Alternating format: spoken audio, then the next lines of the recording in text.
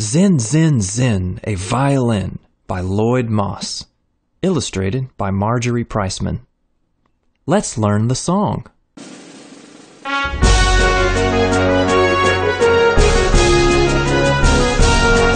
With mournful moan and silken tone, itself alone comes one trombone.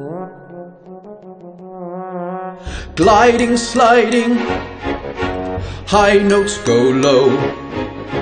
One trombone is playing solo.